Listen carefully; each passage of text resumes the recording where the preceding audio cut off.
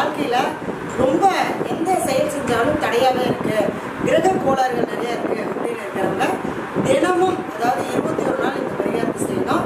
அரசு மருந்தடியில் இருக்கக்கூடிய விநாயகருக்கு ஜாதி பத்திரி தலை அப்படிங்கிற ஒரு தலை இருக்குது அதை தினமும் ஒரு தலை வச்சு விநாயகரை வழிபாடு பண்ணிட்டு வரணும். இருபத்தி ஒரு நாள் தொடர்ந்து செய்யணும். அந்த இருபத்தி ஒரு நாளுமே நான்வெஜ் சாப்பிடக்கூடாது பெரிய கருத்து போகக்கூடாது தீட்டு இருக்கக்கூடாது. இருந்துட்டு அந்த இருபத்தி ஒரு நாளுமே ஜாதி பத்திரி அந்த பொடியை சாப்பிட்டுட்டு வரணும். காலையில் போய் விநாயகருக்கு செய்யணும். பதினோரு மணிக்குள்ளே செஞ்சிடணும். இந்த இந்த பரிகாரத்தை. இதை செஞ்சுட்டு வந்தீங்க அப்படின்னா உங்களுக்கு எந்த காரியத்துலையுமே இந்த தடை அப்படிங்கிறது உடஞ்சி காரிய வெற்றி இருக்கும் கிரகத்தினால் ஏற்படக்கூடிய கோளாறுகள் எது இருந்தாலும் அது நிவர்த்தியாகும்.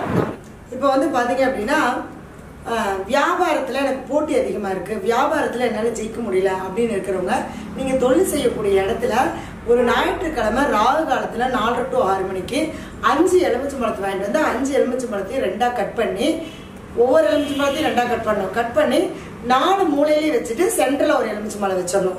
வச்சுட்டு அதுக்கப்புறம் வெண்கடுகு கொஞ்சம் மிளகு எடுத்துட்டு வந்து அந்த இடத்துல அப்படியே சுத்திலையும் தூவி விட்டுட்டு சென்டர்லையும் அதே மாதிரி தூவி விட்டுட்டு கடை பூட்டிட்டு போயிடணும்.